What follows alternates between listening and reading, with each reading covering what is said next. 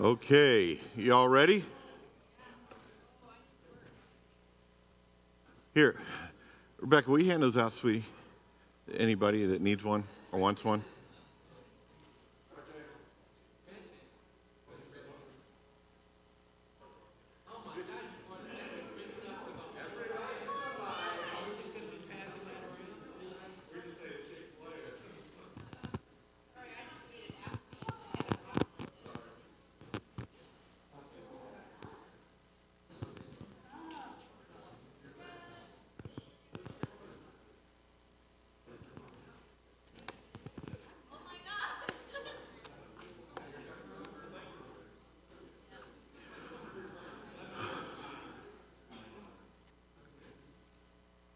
Asha. Hi, sweetie.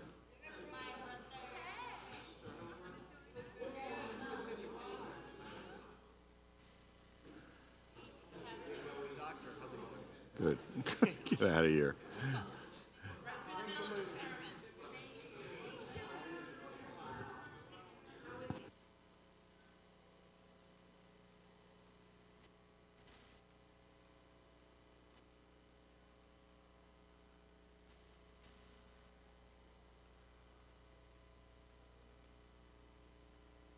Okay, let's have a word of prayer and then we'll take off. We're going to get going. We've got a lot to do in the next two weeks.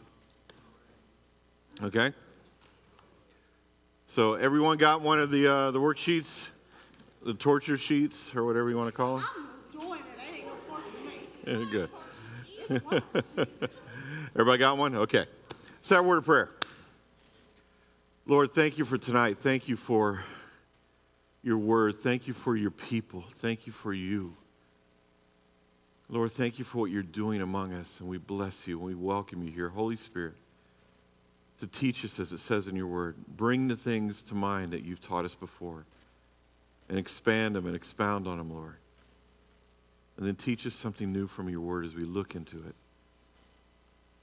And Father, teach us how to properly minister your word to people. We bless you and we praise you in Jesus' name. Amen. How's your week gone before we go any further? Everybody got had a good week so far? Tiring? Yeah. Does Dusty have to get more more surgery? Yeah, PICC line? Yeah. Yeah. Ooh. I remember having a PICC line. It's not fun. So. Yeah. oh, praise God. But he's doing well. Had a good time with him yesterday. It was fun. So, so how's Jerry doing?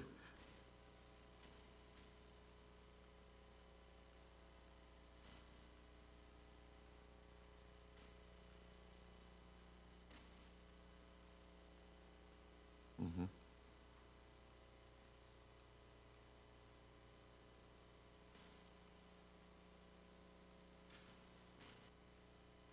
Wow.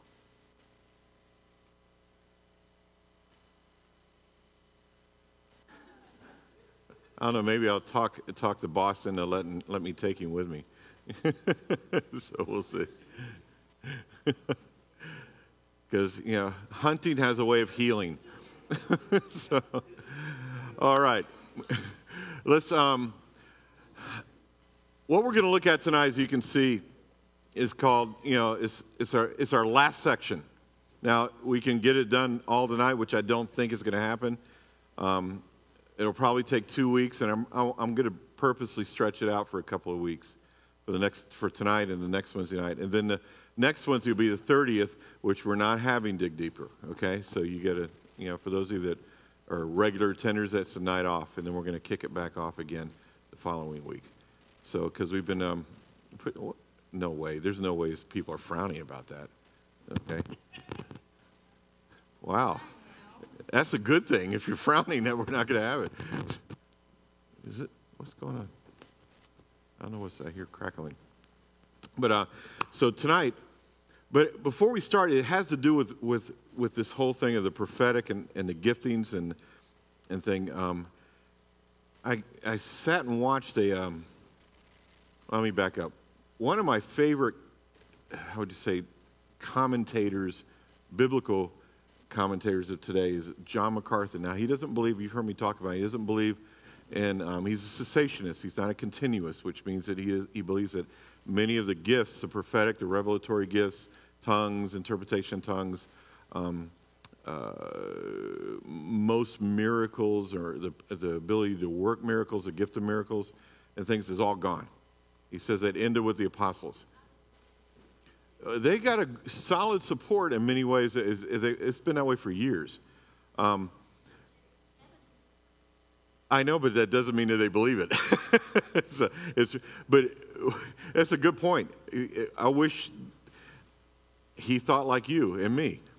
But he's been a, a, um, a proponent of anti-charismatic, the, the proponent for an anti-charismatic movement. He believes that charismatic, the charismatic movement that started basically in the mid 60s, late 60s through, is totally unscriptural and it's satanic. Yeah. He's written a lot of books. He, he's, a, he's a pastor in, in Van Nuys, California, a, Grace, Grace Church. Um, he's been around. In fact, before, even when I, I was, I believed in it, I, I, well, to this day, I still listen to John MacArthur. I mean, I still, I got his commentaries, I've got his books. Um, 90% of what he says is, is probably the most solid biblical interpretation and biblical exegesis you'll ever find anywhere uh, of today. Um, he will go down in history as, as one of the finest biblical scholars of our time. Okay, but on the other hand, this one, one major section he's totally against. And, he, and today started a conference that he has his church called Strange Fire which comes from uh, Exodus and Leviticus, where, where Aaron's sons offered what, is called, what God called strange fire unto the Lord, and the Lord consumed them. And so um, he believes that the charismatic movement, the gifts, the way that is practiced, not the way, but any practice of it in any way, shape, or form that we have today is totally anti God. And um, there's another, uh, and he's, this, you know, John MacArthur is a, uh, has got his doctorate from Dallas Theological Seminary. He's a very well learned man. Even though I got a doctorate, I, I don't know if I'd want to go toe to toe with him because of just the years of experience he's had. And, and um, oh, he's major dispensationalism. Yes, sweetie.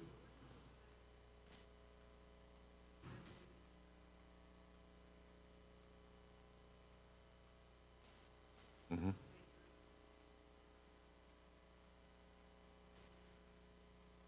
he would say that that's, that's fine. But what we consider the miracles, the prophecy, healings, and stuff is all manipulation today. Okay? Is, you know, he doesn't, doesn't believe that God can't do something like that. Or that God, like if God, if someone prayed for somebody in faith to raise from the dead and, got, and they got raised from the dead, he would probably say that, yeah, that happened. That was God. But that is not the norm. Uh, okay? No, that gift, that gift of miracles is gone. We don't need it. Hmm?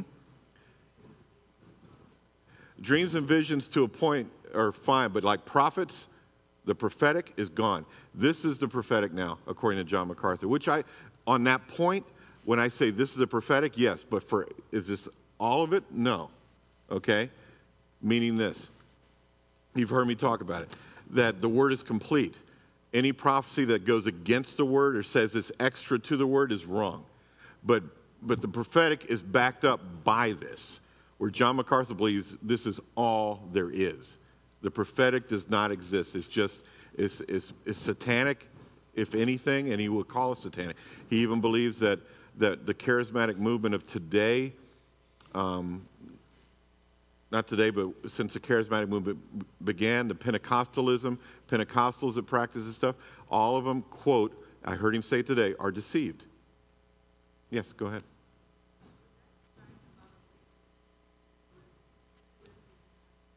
Yeah, that's in there. But legalism's also in the charismatic movement too. Yeah. So, but yeah. Mm-hmm. Yeah, it does. So, with that said, there's another doctor called, uh, his name's Dr. Brown. And Dr. Brown, and he's wonderful. You know who I'm talking about. Michael Brown.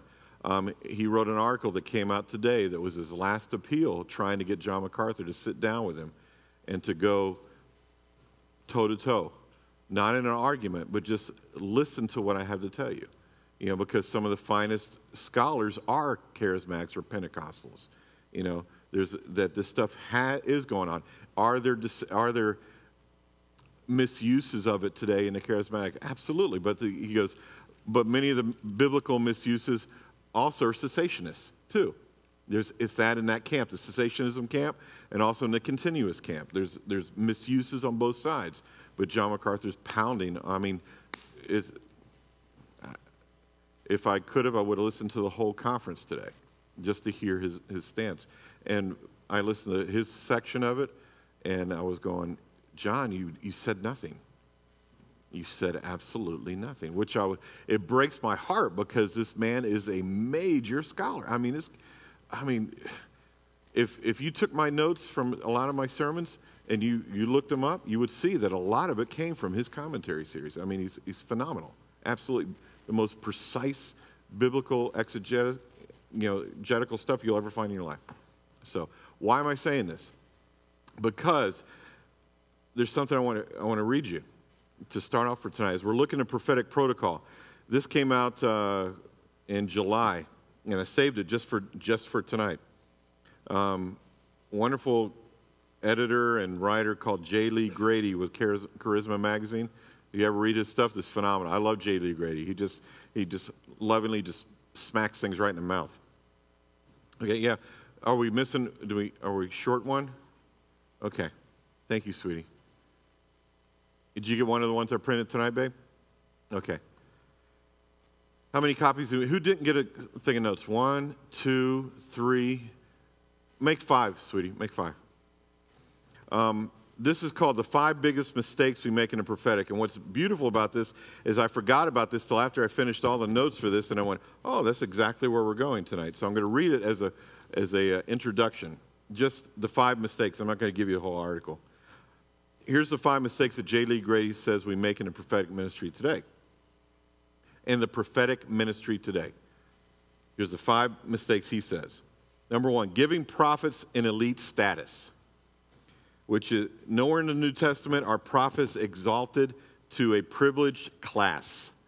Many prophets get a disease that he, J. Lee Grady calls egotisticus giganticus. Isn't that great? I will steal that. I will steal that. That's great. Okay? It does sound like Ronism. Yeah, it's a, it's a Leeism, I guess, or, or Gradyism. Egotisticus giganticus. Okay? And it's true because it, I've, I've hung around some of the big name prophets of today. I, not trying to sound like I'm anybody because I'm not. Just, God just happened to put us in those paths. And some of them are very humble men, but some of them are, you know, um, I know one of them when he, if, if you ask him to come minister at your church, he has a specific amount that he requests or that has to be there, and it's thousands. And then he wants to get when you sell tickets, he wants, he wants 25% of the door, okay, whatever's taken at the door. And then you also have to make sure that he has fresh fruit and Perrier water in his room every day, okay? Um, no, this is true. It's all in the, con- he sends you a contract, okay? You're right, but that's what happens. But see, but it's not just in the prophetic. It's, I know there's a lot of preachers that are the same exact way. Okay? Yes, sweetie. Yes, he does. You know what Paul said about it? He said, if they're preaching for money, he goes, praise God. He goes, the gospel is being preached. okay? So that's the way I look at it. But you know what? That's one of the problems. And that's one of the things that John MacArthur, in his, in his book, his new book that comes out at the end of this week called Strange Fire, one of the premises is that because of the, one of the the misuses is that the prophetic ministry, because of the charismatic movement, there's all these superstars in it, and they're just they're nobodies, and they're they're inaccurate, and on and on and on, and it's true. So here's the second one. Here's a, number two of five things. Number two is promoting charismatic chaos, which means weird people get weird when they prophesy in order to get attention. Some have uh, been deceived into thinking that they must shake their heads or scream in order to make their point come across. You know, and we're going to see some of that as we go through the prophetic protocol tonight. Okay? Like the verse he, he cites in here is one of the verses I have is 1 Corinthians 14 32, where it says, The spirits of the prophets are subject to the prophets. What does that mean? We're going to look at that tonight. Okay? Number three, allowing harsh prophetic words to abuse people. There was, he cites a, a story of a lady that's a prophetic lady that um, she would routinely get up and give personal words of, of, to people in the church saying that calamities and God's judgment was coming against them. She even told one person that God wanted to kill them. This is a prophetic person. Huh? That's not God, okay? Okay? So we're going to look at that tonight about harsh words. Okay, number four is not mentoring prophets, which means what? What we're doing tonight, what we've been doing the last nine weeks that we've been together, it's going to be 10 total that we're together, is basically what is very biblical because in the Old Testament, in uh, 2 Kings, there was uh, cited that there was a school of the prophets, which means young prophets went to school to learn how to be prophets. Okay, when they were, they were seeing that they had a gifting, a prophetic gifting, they would send them to a school that the prophets would teach these young ones how to prophesy. What's the protocol? How to do things? How to know you're hearing from God. It's biblical. And what we've been doing for ne- almost 10 weeks, come next week, is basically like a school of the prophets. Not calling us prophets, but a prophetic type of training. Why? So we know how to do this, what to do, what not to do. Here's number five. One of the biggest, five biggest mistakes is shutting down prophecy because the gift has been abused throwing the baby out with the bathwater, okay? Because of the problems that, you know, J. Lee mentioned all through this, he says some pastors have just given up and shut down prophecy. But yet, it says in 1 Corinthians 14 1 to desire earnestly spiritual gifts, and especially that you may prophesy. And then in verse 39, it says, desire earnestly to prophesy. So, with that said, let's start. Here we go. And we're just going to take our time. We're going to go through this. Tonight is a major conversation time, okay? Let's talk through things. I'm going to read through, you're going to fill things out, but we're going to talk through them. You can read the note at the top, just saying I've put all this together over the years. All right? Now, number one is ministry preparation. I'm Going to give you some questions to use to do a spirit and body check prior to ministry times. It will help you to discern whether the things you are sensing are relating to you or the other person you are ministering to. Now, what we're going to look at tonight as we go through this is that I put this together a number of years ago, and I've been adding to it as the years go by, to put together for, for basically to set up prophetic ministry teams. These are some guidelines, and this is what I would use among a bunch of other material to train prophetic ministry teams. And you're going to hear it. It's going to say preparing yourself for ministry. But this applies on a day to day basis, as well as on a Sunday morning or a prophetic ministry team, because one of the churches I pastor, we had several teams that when other churches would do conferences and stuff, they would call me up and get my teams to come over there and prophesy to the people. So here we go. Number one, is there any sin in my life? That's the question you ask yourself. Is there any sin in my life? Number two, is there unforgiveness in me, which is sin?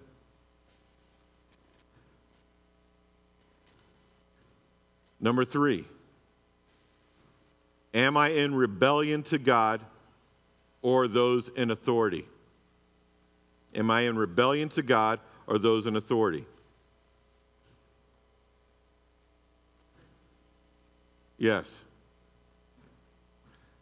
Like, take for instance, if a, if a, uh, a young person comes and they're going to do prophetic ministry, but they are in absolute rebellion against their parents and for some reason, if I found that out, if they confess that to me, I would ask them to either make it right before they start ministry or they won't ministry, minister. Or the same with anybody else.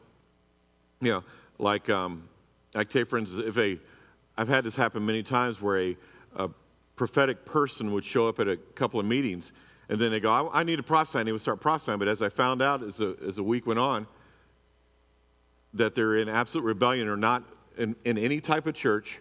They're not under anybody, any church's covering in any way, shape, or form. That's rebellion. And so, oh, I don't like churches. I, I just go where, where God tells me to go. Flag, foul. Okay? No, they won't minister. Because why? That's rebellion. Anybody says, well, I don't need the church. I'm just do what God tells me to do. You can't say that because what did Christ, who did Christ die for? The church, to build the church. Well, I'm part of the universal church of God. I don't need to go any specific. Oh, really? Then why all through the scriptures does it say that they, they met in local churches and they were submitted to them? Yes, sweetie. So I know that we all stumble and sin. Someone is walking out in sin. Oh, yeah, absolutely. God, look at, look at Balaam. Remember we looked at Balaam? He was in absolute rebellion against God, and God still used him, didn't he? But you don't want to be used that way. Okay? Yeah, because the gifts and call of God are irrevocable.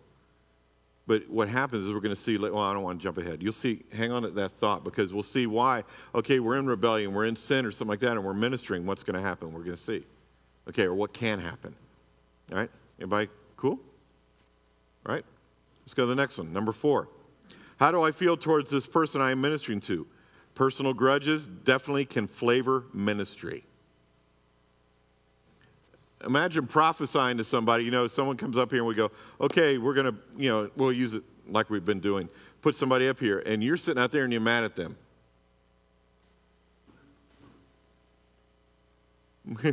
yes, sweetie?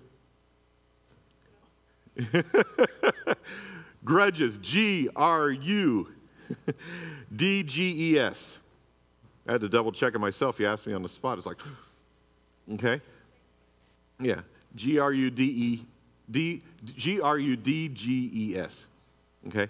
So if if there's any type of hard feelings, make sure it's right. Remember I told you a story about that, that young man in prison that everyone was worshiping and he was sitting down. And the place is just going bananas and worshiping. There's one guy in the church service in the prison sitting down, and one of my br- wonderful brothers in the Lord, Chuck Martin, went over and said, Hey, how, come on, join it. He goes, I can't. He goes, I'm in sin. He goes, I'm angry at somebody in this place, and I cannot worship until I'm in unity with the whole place. That told a lot, man.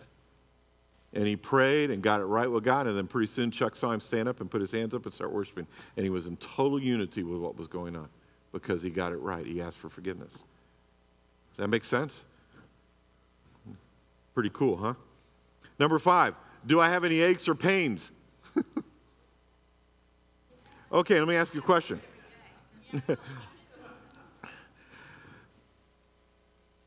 if you got the flu and you're feeling like someone beat you with a baseball bat, well, no, yeah, yeah, don't breathe on me, okay?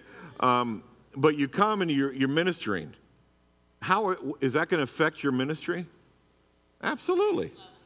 Yeah, concentration level's not good, and and when we're prophesying, there's a, there's a holiness and there's a, there's a uh, uh, uh, an importance to it where just like with me, if I'm if I'm really if I'm sick and I'm really sick, I won't come and preach because why? It's going to affect what's going on, and I don't want anything to affect the presentation of the Word of God. Yes, sweetie.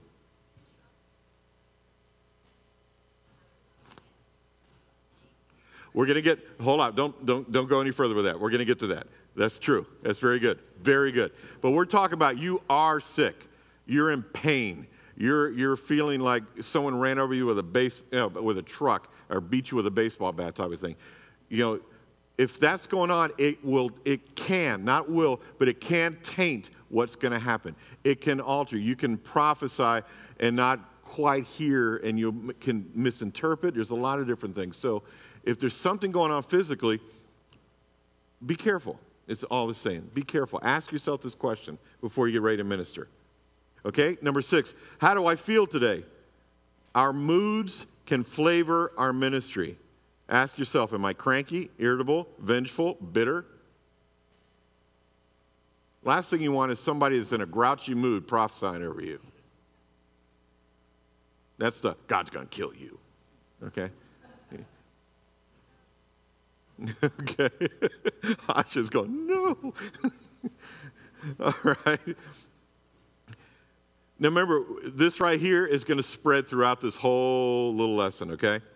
So let's go to number two generally safe guidelines. Generally safe guidelines. Don't offer correction. Remember, if they aren't in your area of responsibility, they are not in your area of authority.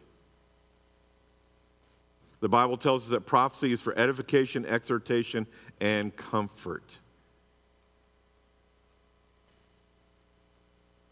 You know, there's, there, there's times, I've been on many, many, many prophetic teams, and there's times where somebody will come in, you don't know these people, but you, you sense that something's really wrong.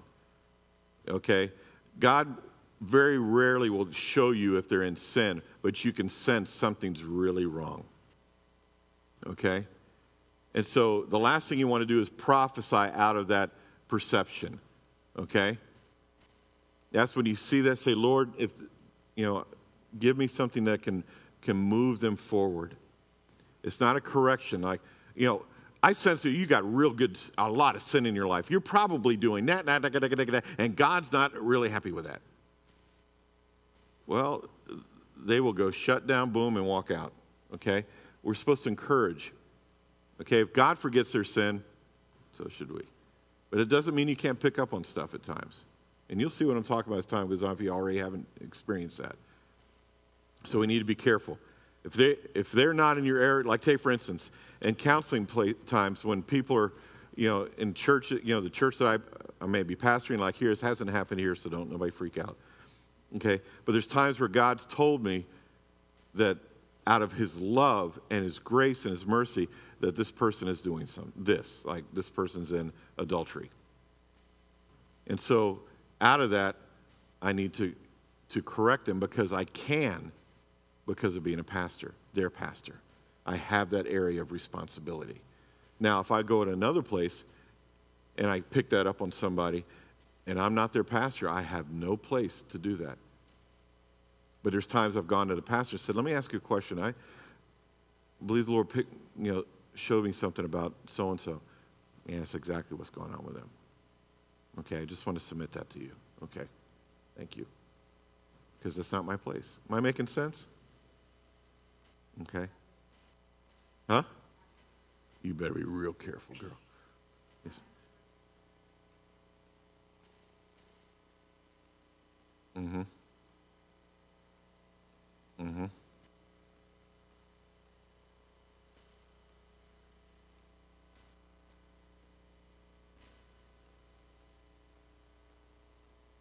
Mm-hmm.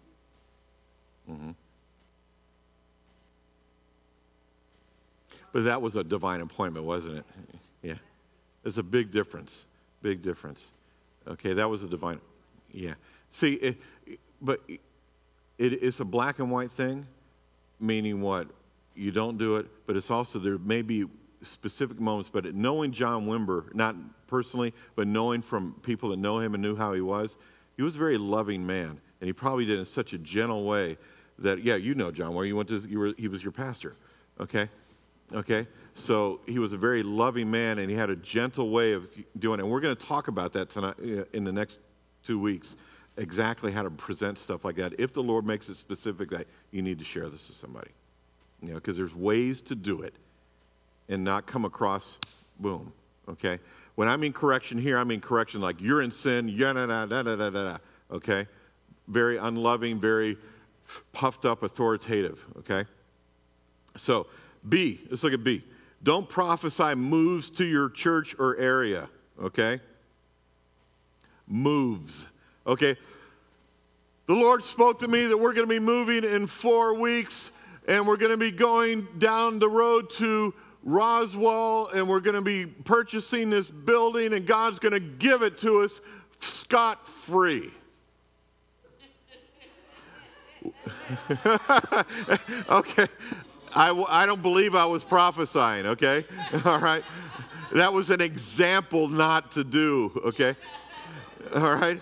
Because let me tell you, do you want the responsibility of that word? Okay. You understand what I mean? Now, God may speak that. If He does, those are the kind of words that you're going to see later. You write it down and you go, listen, you know, Henry, Ron, Denise, you know, I don't know if this is God or not, but I really sense this, so I'm just going to submit it to you. It's not one of those words you blast out on a Sunday morning, okay? In great zeal and fervor, okay? Does that make sense? yes, sweetie. Oh, did you get a word like that? okay. What? Arizona. Okay, well, yeah, we're going to get to that. Hang on to that thought. Okay. Yeah, well, like you look at somebody and go, why do I see Arizona over here? Okay, well, we're going to get to those. We're- will get to I don't want to jump ahead. Okay? Don't, number C, don't prophesy engagements or marriages. okay, more later on this. Okay? D, don't prophesy pregnancy or sex of unborn children. Let me tell you, okay, and Brad, if you're watching this, you know I love you. Okay. Thank you, Brad. What is that? Is it? Is there a mic on? Is there a channel lighting up back there? One, two, any? That's weird. Huh? Okay a friend of mine, Brad, and he, this is public knowledge, so I'm not sharing anything that was that was uh, um, this you know was given to me in confidence. Brad was one of my dear, dear friends to this day, and uh, he was um, he was a member of the two of the churches that I planted over the years. Him and his family, and Brad was um, he had a daughter, an older daughter, and for years his wife could not get pregnant again. He wanted more children, and so 16 years into, after his first daughter was born, just by God's intervention, his wife got pregnant. And she was about Denise's age when she was, uh, when our daughter was born. She was in her 40s. And so uh, it's interesting. Brad believed that God told him it was a boy.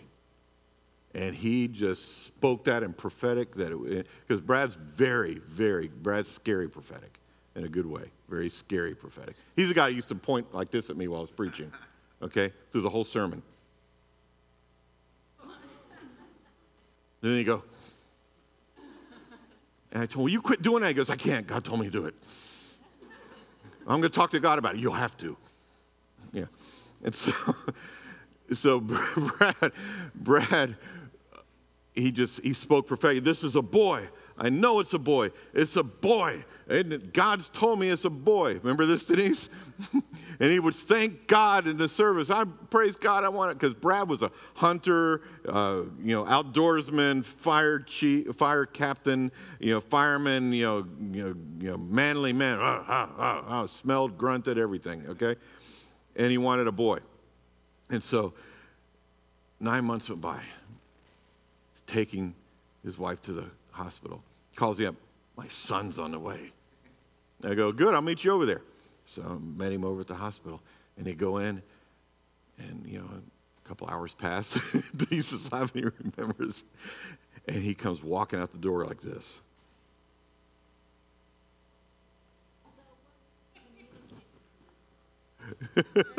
Hold on, wait, it gets better, it gets better. And it wasn't a boy.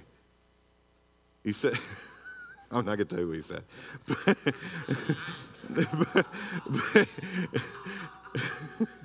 No, I'm sorry. That was one of those things that came out of it before I could think. But it, it wasn't a boy. And he was so upset. Not to the fact that it was a girl, because, you know, Chelsea has been the greatest joy of his life. You know, and she ended what's really funny is, and Brad never was like pushed him to do boy things, but Chelsea has been the fisher, you know, the fisherman, you know, the, yeah, she does. Yeah, but it's not a bad thing. It really, because if you knew the family, you would know that there's not been anything that's happened since then. But he really felt it was a boy. But the, the point of it is that he prophesied that the Lord had told him it was a boy. And God went, Oh, really? Okay. And what's really funny is you hear the horror stories of people prophesying, you know, pregnancies and, and, and marriages. You know, you're going to get married. And there's been people that have gotten married that should, probably shouldn't have gotten married because people prophesied that they were supposed to get married. God told me you're supposed to get married. But there's others that God caused all things to work together for the good. So don't, there's extremes on both sides. All right, now, Number, uh, letter E, don't prophesy specific days or times. God's timing isn't easy to perceive. Okay? I think that speaks for itself. All right? Number three, there are three different realms we can speak to. Okay, A, the flesh. Don't allow yourself to be pulled into speaking to what you see in the physical or soulish realm. Anybody know what I mean by that? Okay. Denise, you want to try explain that one?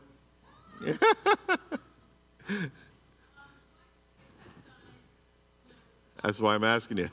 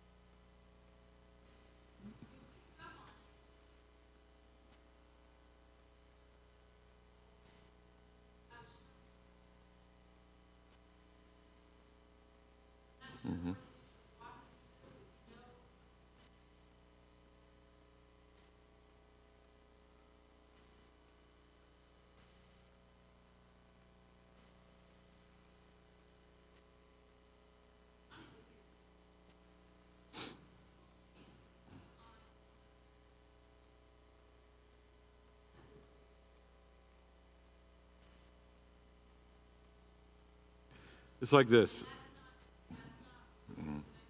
Yeah, it's good. It's excellent. There's somebody, this is hypothetical situation, just thinking of it out. There's somebody in the church that you're ministering at, or here, or wherever it may be. And you know them somewhat personally, and you know their heart is to have a child. And it just weighs on them, and weighs on them, and weighs on them and you see them each week, and your heart is just, ah. Oh. And all of a sudden, you start feeling a churning in you, a prophetic type churning. And you know what I'm talking about. As time goes on, you pick that up, you just can feel that something's going on. But it doesn't mean, you know, you say, well, maybe the Lord's telling me that they're going to have a child. But what it is many times is their longing is pulling at your gifting. Does that make sense? okay, and it's pulling and pulling, and you, you're sensing what they want, and it starts moving, and what, and you can get in big trouble. Okay? Yeah, Denise? Please.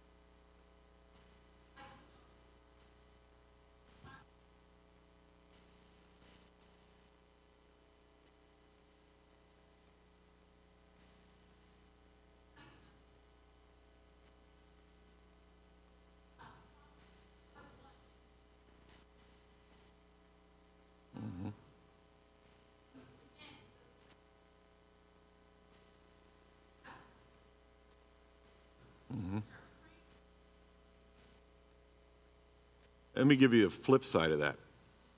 In 2004, um, a friend of mine's pastoring a church in Alabama, and he calls me up, and it was I was well out of the cancer stage. Uh, you know, it was almost a year clean, and um, the uh, he called me and said, "Listen, I want you to come and minister at my church." I went, "Sure," and they flew me from Texas to Alabama, and uh, he said, "Just whatever the Lord tells you." He goes, "I know I know the gifting in you. He goes, just whatever you want to do.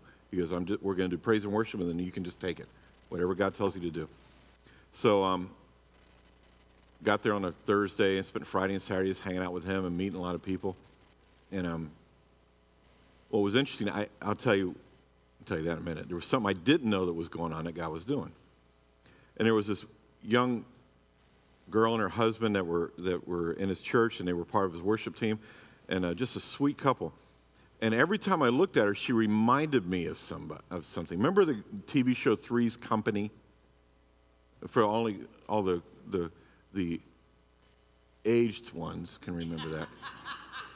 Um, remember the black haired girl in there? I forget. What was her? Chris? Chrissy was the blonde. So, Janet. Okay, whatever. Billy Bob, whatever.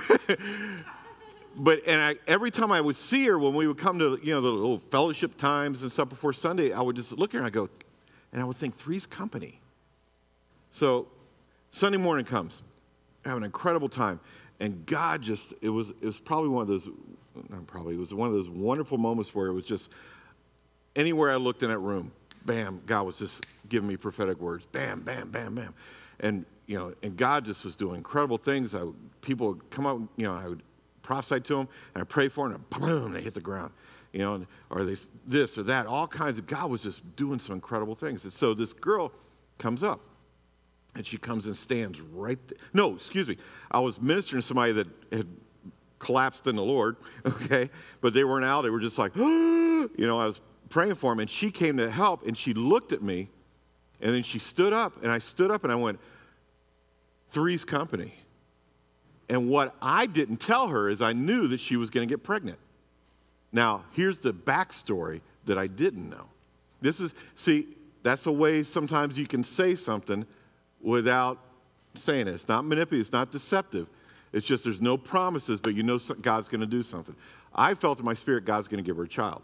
Now, I did not know that her and her husband have been praying for years for a child, and she hasn't been able to get pregnant. And I didn't know that the night, Thursday night before I got there Friday, she had a dream. She had never met me before, didn't know what I looked like. But in a dream, I showed up in her dream and I walked over to her and I put my hands on her and she fell out in the Lord. So she's standing there and I said, Three's company. And I reached over to pray for her and she went, I went, cool, next. And so I'm over. Nine months later, she has Elijah. Okay? Well, hold on. Then four years later, she has another child. And she's now pregnant with her third child. Was that God? Am I taking credit for that? No, that was God. But this is how things work. Am I, am I being clear? Okay? Yeah. Yeah, I know. Three's company. that's what I was, that's the, the, the neat part about it. Yeah, Jaime.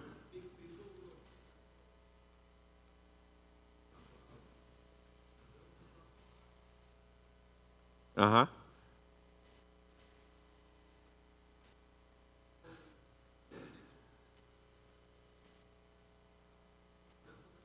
Mm-hmm.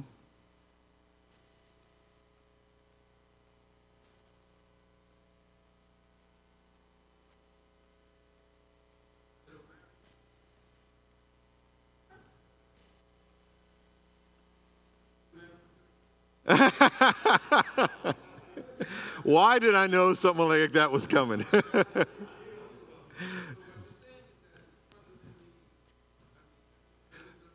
no, that's not what I'm saying. No, don't you start something now, okay?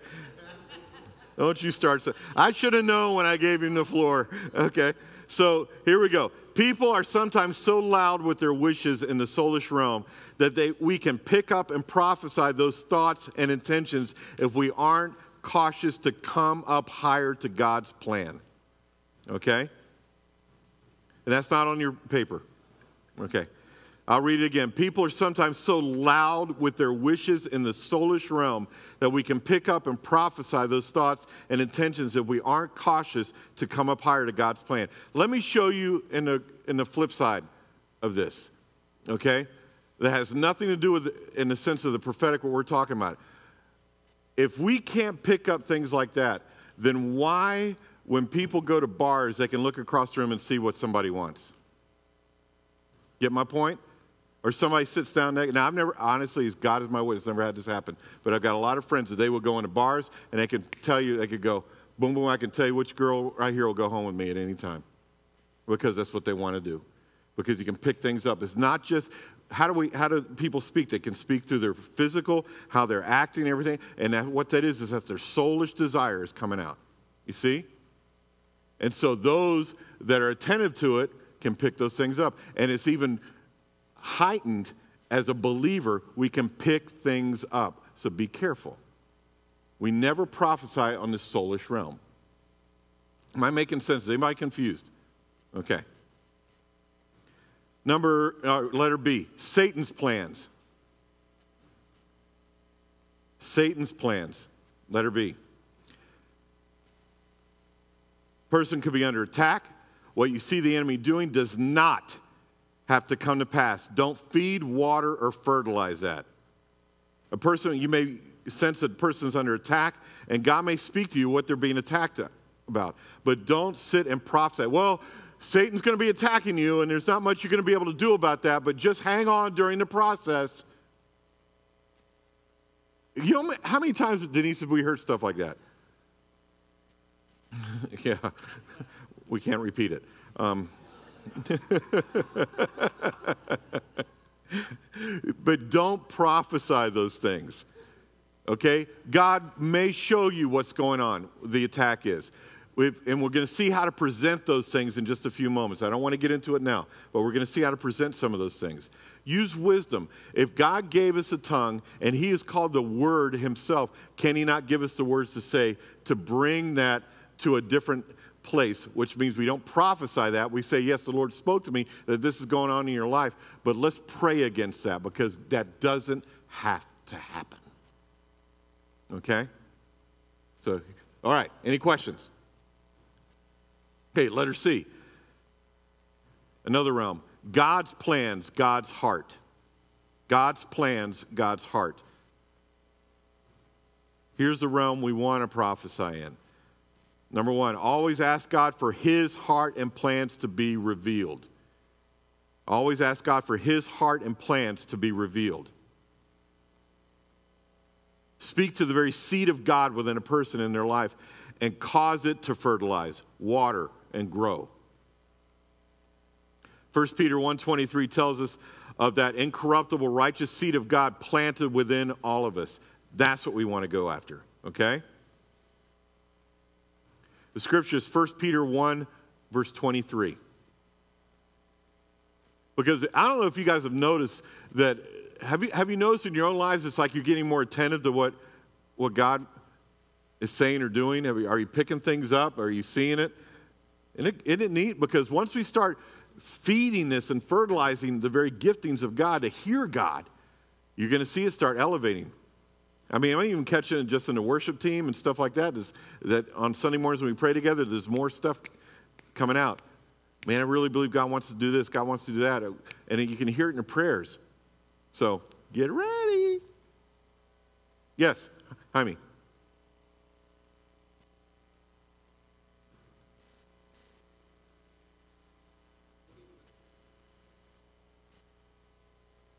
Mm-hmm.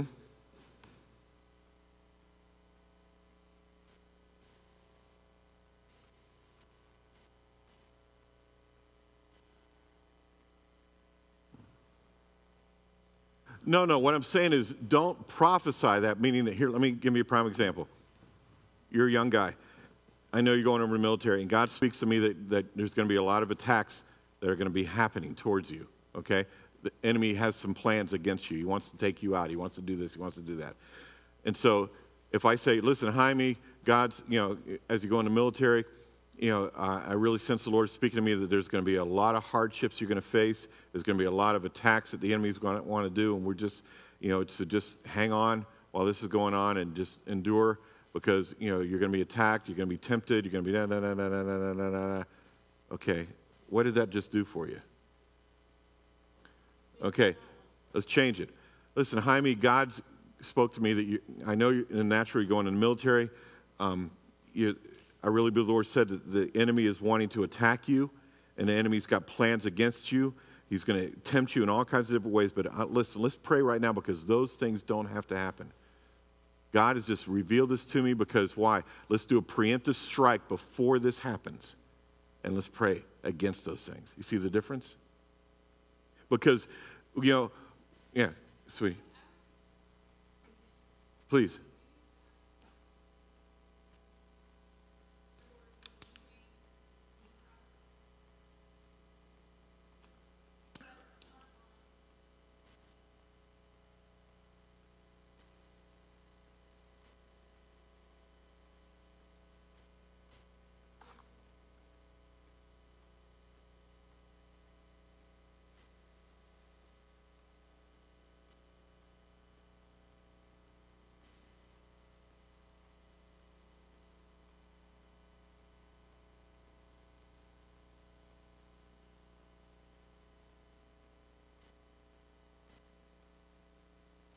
Mm-hmm. Zach.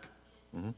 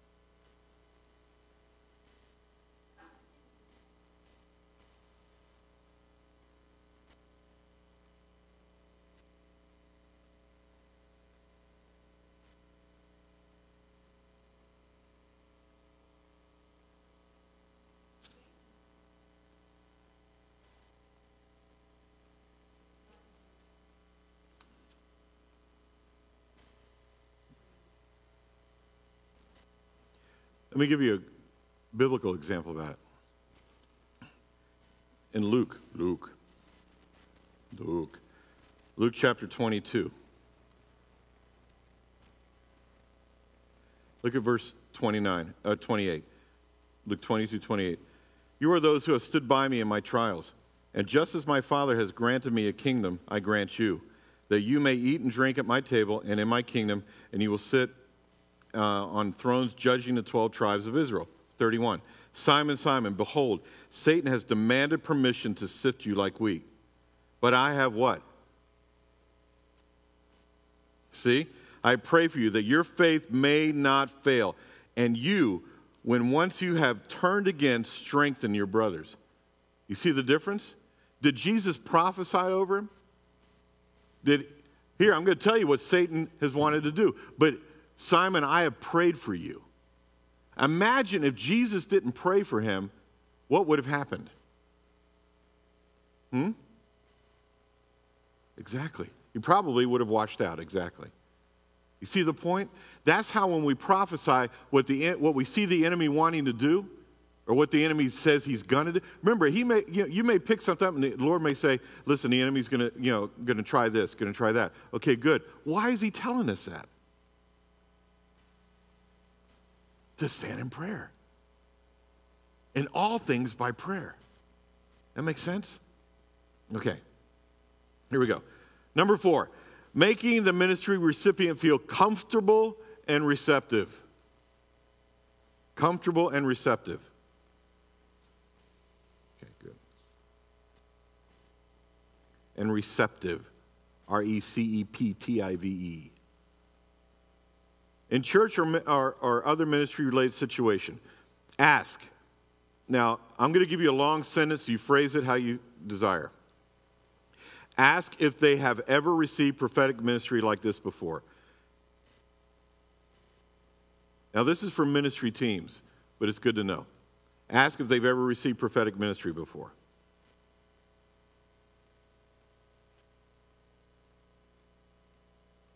Now, you know, sometimes that if you're not on what is called a ministry team, you're at Walmart and you're in line.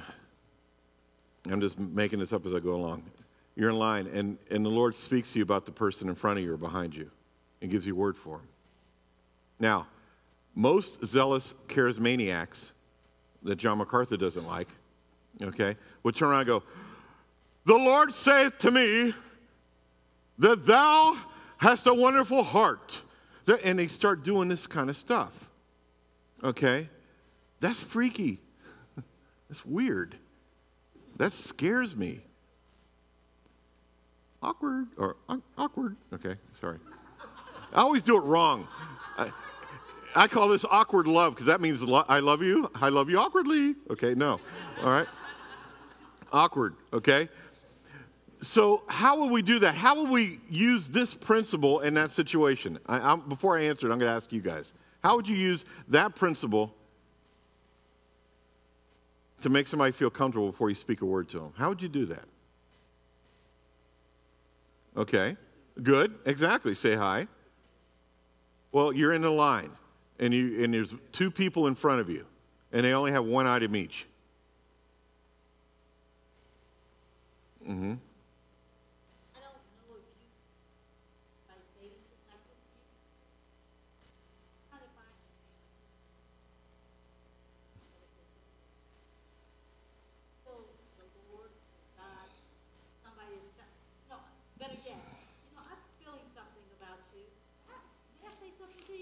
Okay. Okay. Okay. Good. Good point, Larry.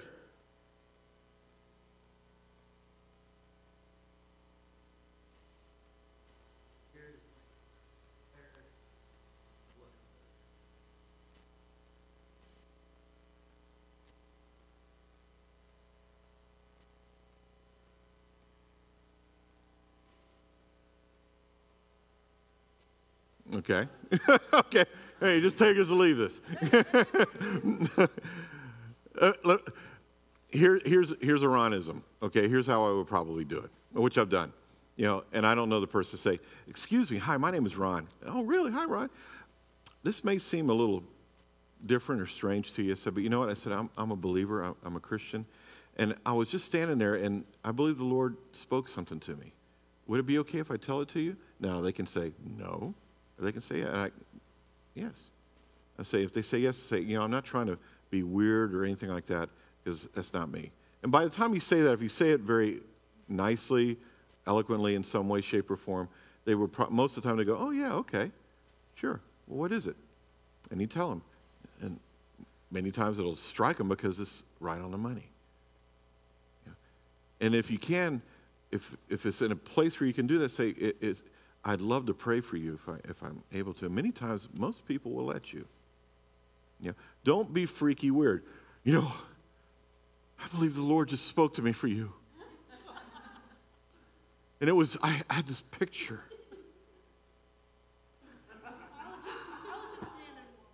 Yeah, you get laughed at, okay?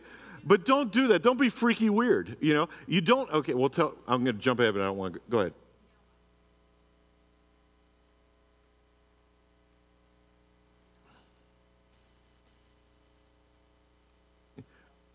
Yeah, yeah. Yeah. Well, when they do that, say, I thank thee. Okay? Seeth thou later. okay? All right? okay. Number two under that one, okay? Explain that you are not there to give correction or dig up old sins. However, you want to put that in there. Explain that you're not there to give correction, or dig up old sins. Now, this is on a ministry setting. When someone comes in, if we have a, uh, when we put together the ministry teams, the prophetic teams, you know, there's going to be times where, where somebody will want prophetic ministry. Like we, we uh, attended, we weren't on staff, but we attended a church in Texas just before we moved from Texas. Um, it was called Restoration Church, and we were on the prophetic teams. And on Tuesdays and Thursday nights at 7 o'clock, from 7 to 9, you can make an appointment to to be, you know, to uh, come and to a prophetic team and see what the Lord may say. And so we were on those teams, and what you would do is you would explain these things. Now, we, we want to make you feel comfortable. We're, your sins are not going to be exposed or anything like that, you know. And so, you know, it, and we ask them, have you ever received prophetic ministry before? Some, most would say yes. Some would say, no, not really. Really? Oh, this is your first time doing it? Oh, yeah. oh, just relax. Your sins are not going to be exposed. God's not going to come down on you. He's not mad at you. He loves you. You know, and he would do everything he can to make him feel comfortable. And then they go, okay. Does that make sense? All right, so don't tell them that, you know, their sins are not going to be drug up and not going to correct them, and that everything's under the blood, okay? And all we're going to do is ask God to show his heart and plans for them. Number three, advise that they are responsible to chew up the meat and spit out the bones. You know what that means? Chew up the meat and spit out the bones? What you feel the Lord is speaking is true, take it in. What doesn't seem like it was, it was God, spit it out. All right? We're supposed to judge what God, what the, the words that people give us, okay? We judge them, pray about them. All right? Number four, then pray for God to reveal his heart for the person and wait on his reply. Pray for God to reveal his heart and then wait on his reply. Is this making sense tonight? Okay.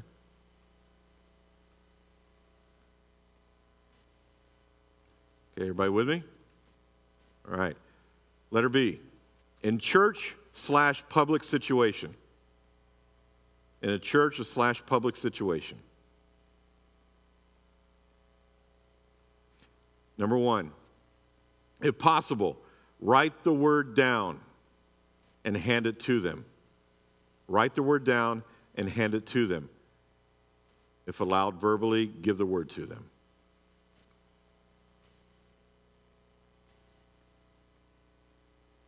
Write the word down and, give, and hand it to them.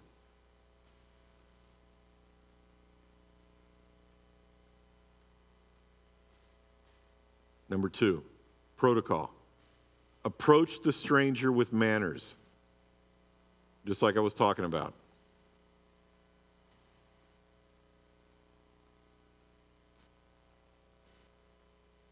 You don't say things like, I've seen people do this because we've been parts of major prophetic conferences and things and been on the prophetic teams and stuff.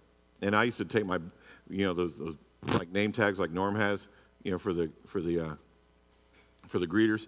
Well, we have those kind, we had those kind of things. I would take them and stuff them in my shirt when we were in the regular group assembly because everybody wanted, give me a word, give me a word. But I've seen other people, you know, that I call them sidewalk prophets or parking lot prophets they uh, get a word for somebody and go, Hey, you, God wants to say something to you. Come back here. Just like that. I'm serious. Yeah, yeah. You, know, you don't do that. Or you walk away and go, Hold it a minute. God wants to tell you something. Pro-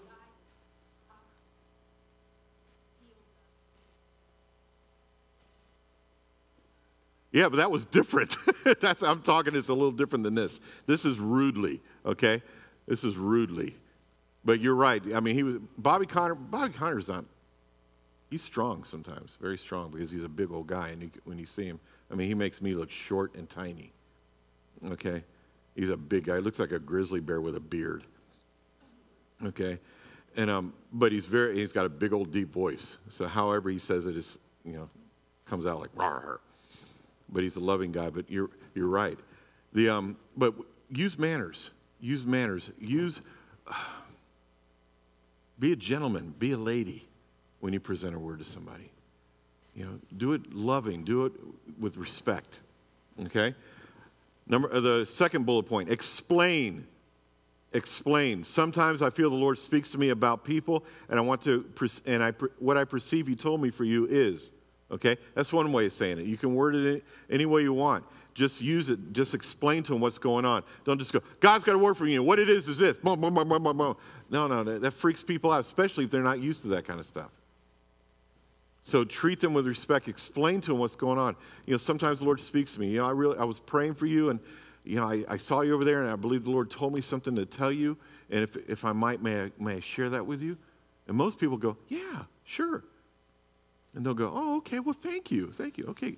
Is it okay if I pray for you? If you have that moment, do it. If you don't, just deliver the word and thank them and honor them and leave. All right? And the next one is give the word in clear, concise manner, say thank you, and leave. Give the word in a clear, concise manner, say thank you, and leave.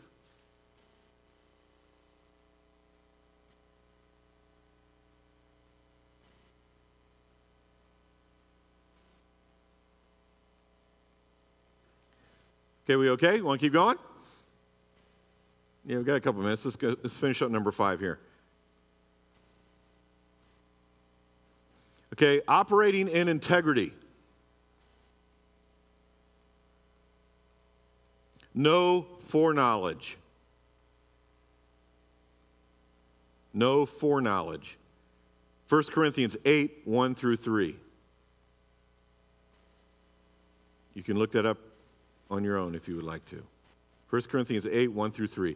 If you know something in the natural, be honest and say something like, okay, be honest and say something like, I know this part in the natural, state it, whatever that may be, but I believe that the Lord gave me this word or scripture for you regarding it, and then state what that is.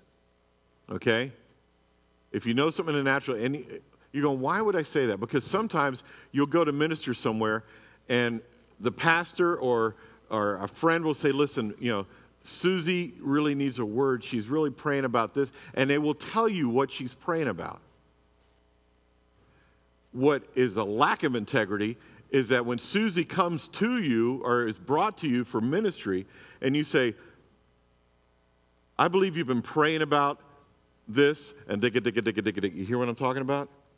Because what does that do? It gives you so called credibility. The only credibility we, ha- we want is Christ, and we want Him to get all the credit. Okay, so don't, don't, if you have a foreknowledge of something that someone told you, then say, listen, um, your pastor told me that you were praying for a child or praying for your husband because he's not saved. Well, I believe the Lord spoke to me about this. And you give them the word. And that way, there's integrity and then there's the word. That makes sense?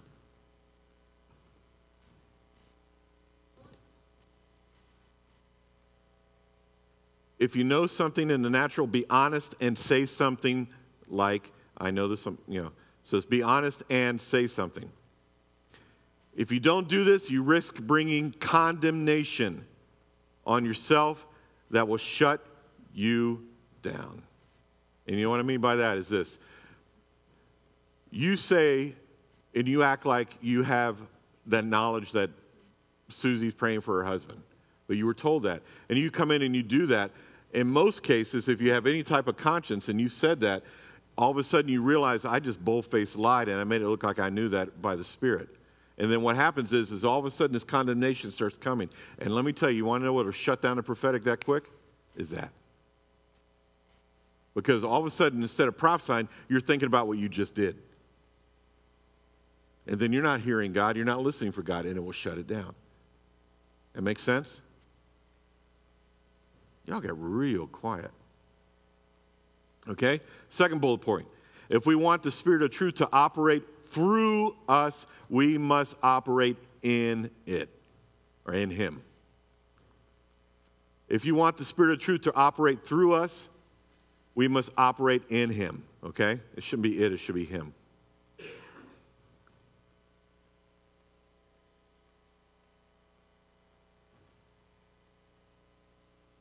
Okay, everybody got everything? All right. B, mailman theory. Mailman theory. The mailman theory.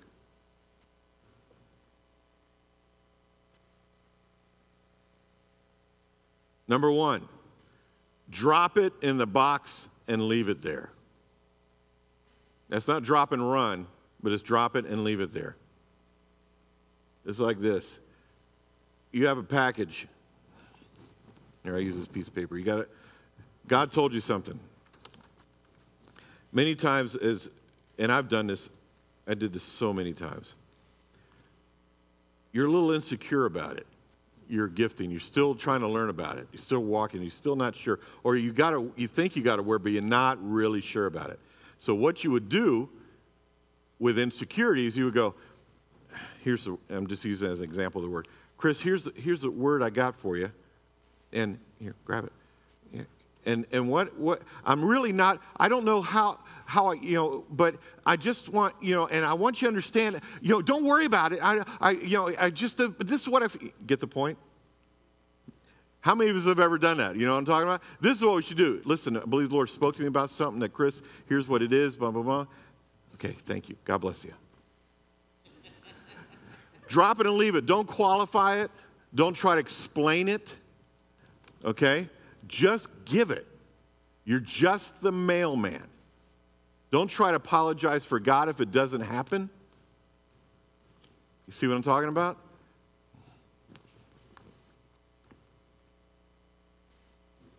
But it doesn't mean you get cocky because I've seen guys oh, yeah, we'll just draw. Oh, Chris, God told me to tell you this. What? God bless you. See what I mean? That's when the guy turns his back, you pick up a hymnal and go, boom. Okay? Now, number two, don't force acceptance. Don't force acceptance and don't try to cause them to walk it out. We are not the Holy Spirit. Don't force acceptance and don't try to cause them to walk it out. You're just the mailman. Get the point?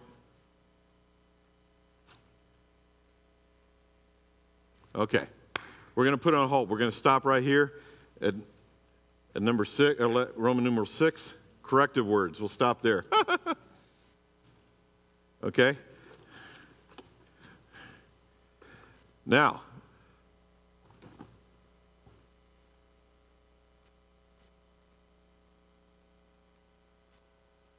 all right.